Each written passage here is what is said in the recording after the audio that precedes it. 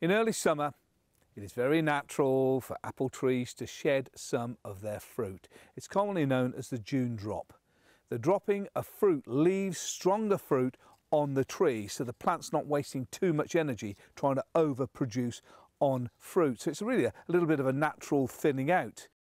But it's more extreme if there may be underlying problems with the tree itself. So it's shedding uh, a lot of the fruit to be able to put energy into keeping itself going. But generally, June drop isn't a worry. Instead, it's a natural process because the tree can only hold so many fruits. However, it's important to bear in mind of the age of the tree because younger trees tend to drop more fruit.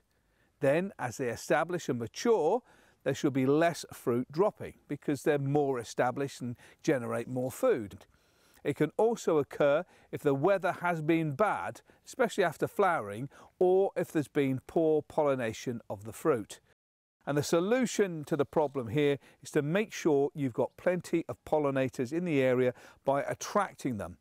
You can attract them by encouraging beneficial insects like bees and butterflies into the garden and planting pollinator friendly plants in the space in and around your trees, like I've got here with some of the sunflowers. There's a cheeky bumblebee right there. And if you want more information, I've done a great video for that and you can see that uh, on my YouTube channel. It can also be prevented by ensuring the plant is getting the right balance of nutrients and water.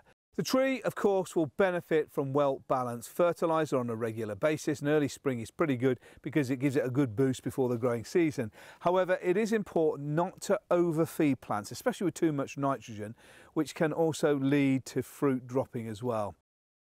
The position of the tree will be impacted on how much it is fed. For example, if a tree is planted within grass, obviously the grass takes away some of its energy. So the best thing to do is to clear a metre around the base of the tree of any grass because that surface grass will take away some of the moisture and also the food. Now once the grass has been removed, the soil should be lightly forked over to break and loosen up the space and then you can apply some fertiliser to the area that will then seep down and be able to feed the plant. You can also want to put a little bit of weed block and bark chip over the top to make it look tidy.